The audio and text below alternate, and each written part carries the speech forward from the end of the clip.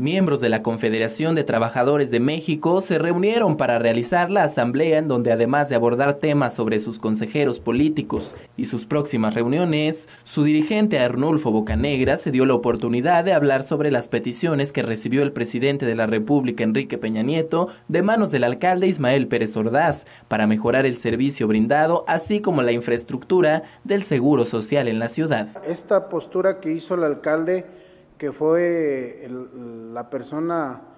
que llevó a cabo entregarle directamente al presidente de la República este,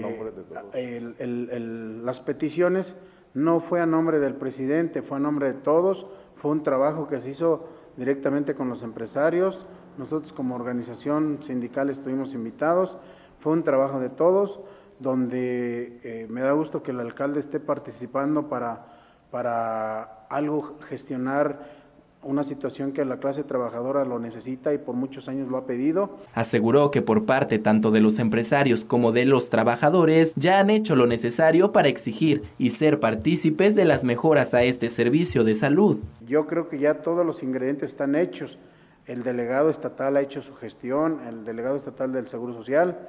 algunas personas eh, que, lo están acompañando también, el alcalde ha hecho la gestión, el señor gobernador ha hecho su gestión,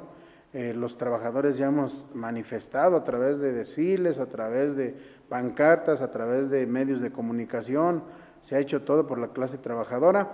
y la, y la clase empresarial también ha hecho lo mismo, entonces creo que los ingredientes están, únicamente falta que alguien lo, le dé el banderazo sobre el caso de la destitución de su puesto al ya ex delegado de Infonavit en Guanajuato, Lorenzo Chávez, quien fuera separado de su cargo luego de recibir acusaciones sobre las supuestas acciones de presión hacia los valuadores de dicho organismo para que hicieran donativos para la Cruz Roja cuentas particulares, caso que aún se sigue investigando. Arnulfo Bocanegra comentó. Y a nosotros como trabajadores